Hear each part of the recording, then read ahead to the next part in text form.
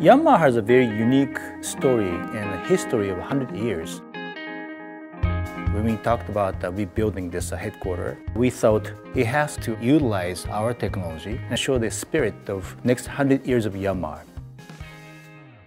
We make uh, not only tractors, but a lot of energy equipments. We install generators, all the technology that we have to recirculate CO2 and the ceiling level.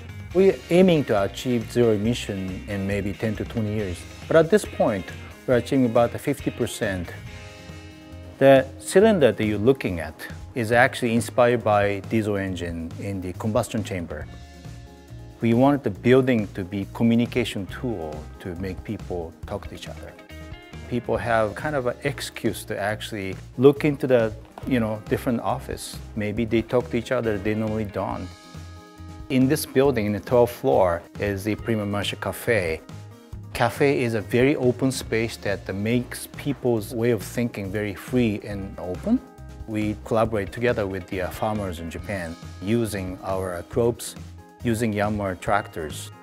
Those farmers actually bring in the uh, vegetables and rice together with a chef. We serve very unique and good food to local people too.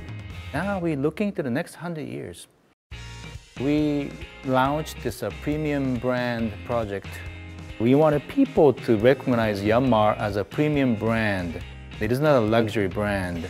We like to give people the value of premium for the same price. So we took tractor as the number one challenge. When people look at the concept tractor, the image of the industry, not Yanmar, got changed completely. This concept excavator is remote controlled and powered by electric motor.